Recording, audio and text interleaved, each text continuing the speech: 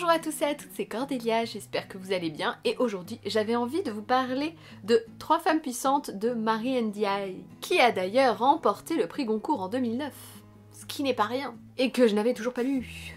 En 8 ans, comme vous avez dû le deviner, c'est l'histoire de euh, trois femmes. La première c'est Nora qui est franco-sénégalaise et qui vit en France et est avocate euh, en France et qui revient au Sénégal à la demande de son père parce que apparemment il y, a, un truc qui va pas. Et elle va se rendre compte qu'il y a vraiment un très gros truc qui va pas avec son père Lucash. À savoir que son frère a non seulement disparu de la circulation, mais en plus qu'elle a a priori deux petites sœurs qu'elle n'avait jamais rencontrées. Elle va donc devoir faire face à ses affaires familiales, elle va essayer de démêler le vrai du faux, tout en confrontant son père qui est un sale égoïste.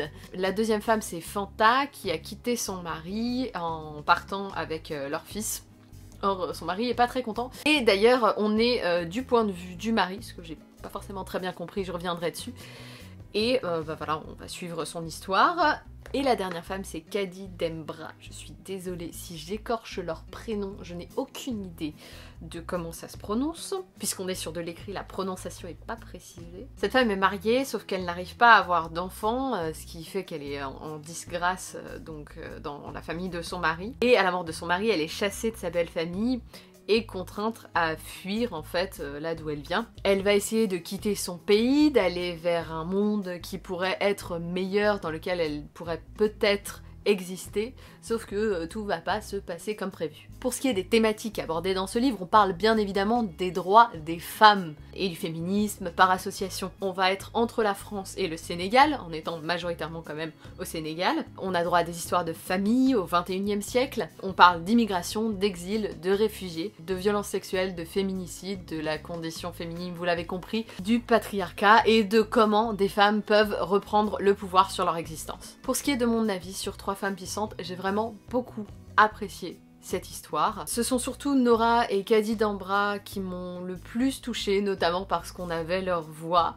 Euh, la partie au centre, euh, qui était du coup centrée sur le mari de Fanta, m'a laissé un peu perplexe, j'ai pas du tout accroché. Je dis bien évidemment pas que c'est une mauvaise partie, mais disons que c'est pas la voix que j'avais envie de lire sur le moment, j'aurais préféré avoir celle de Fanta, du coup. J'ai aimé qu'on aborde des problématiques différentes, la vie de trois femmes qui gravitent plus ou moins les unes autour des autres sans forcément se fréquenter euh, énormément. On voit différents niveaux de vie merdique et différents niveaux de conditions féminines, avec la première femme par exemple qui euh, bah, est avocate, euh, a sa vie en France, sa famille, etc.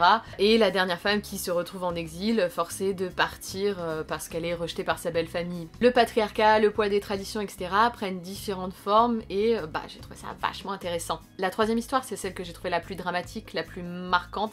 C'est une de ces histoires à laquelle on repense euh, plusieurs jours après et même encore longtemps après. Euh, qui va donner justement envie de militer pour les droits des femmes, la condition féminine, tout ça quoi à qui je conseille Trois femmes puissantes, bien évidemment à tout le monde, plutôt à un public adulte, même si des lycéens pourront tout à fait euh, le lire sans souci. Si vous avez aimé Singé Sabour d'Atik Raimi, qui est un autre prix Goncourt que j'avais personnellement beaucoup aimé, cette histoire peut vous plaire parce qu'on parle en fait des mêmes thématiques de conditions féminines. Si vous avez envie de lire des histoires de femmes, si vous êtes féministe, si vous vous intéressez aux droits des femmes, eh bien euh, lisez Trois femmes puissantes parce que ça peut tout à fait vous correspondre. J'en ai terminé avec ce roman, j'espère que je vous ai donné envie de le découvrir. N'hésitez à laisser des commentaires pour me dire ce que vous en avez pensé, tout ça, tout ça. Merci à tous ceux et celles qui laisseront un pouce vers le haut, partageront la vidéo et s'abonneront à la chaîne. Je vous donne rendez-vous très vite pour de prochaines vidéos et en attendant, portez-vous bien.